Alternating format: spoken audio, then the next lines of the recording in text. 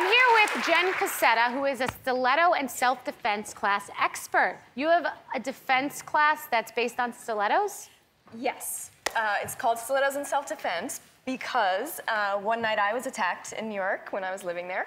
Um, but because of my martial arts training, I'm a third degree black belt in Hapkido, I was able to scare off my attacker and chase him down the street wearing my stilettos. That must have been terrifying. I mean, how scary was that? It was. I mean, wow. Yeah, it, it is terrifying, but I realized that I was able to do that, and most women can't, you know, run in their stilettos, let alone let alone walk sometimes. So I needed to create a program that empowered women to stand up to attackers and fight back. Got it. Oh, great. Oh, we have an attacker? Yes. Yeah, great. So here we have Say- Logan. Is it okay? Logan, you, you know, you're too cute to be an attacker. We need a scary attacker. He's not so scary. Oh my. All right. Well, attack with your cuteness. All right. So It's already working. I'm terrified by how cute you are. Okay. right? Um, so sometimes, you know, if you're not paying attention, an attacker is going to come up. Am I? I'm, I'm the. I'm the one. exactly. Okay. And uh, he's going to come at you, All right. at me, right? I'm already home. Good. Oh. And he's going to punch. Oh, I thought I was getting attacked. I was like, I'm home safely. Oh, sorry. Sorry. so I'm in my bed eating. all- You, you missed me. Exactly.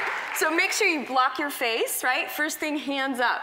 Second thing, I'm gonna come in close to him, right?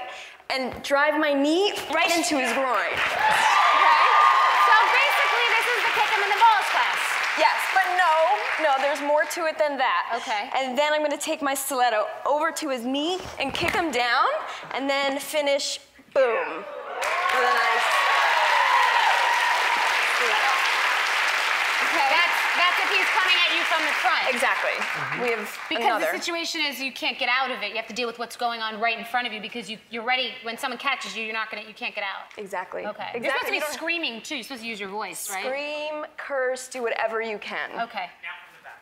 Yes. You like it from behind. Excellent, Andy. okay, that's my dirty producer. Let's do it from behind. Great. So Okay. from behind, um, I'm at my car, and someone grabs me. So the first thing I did was base out and drop my weight.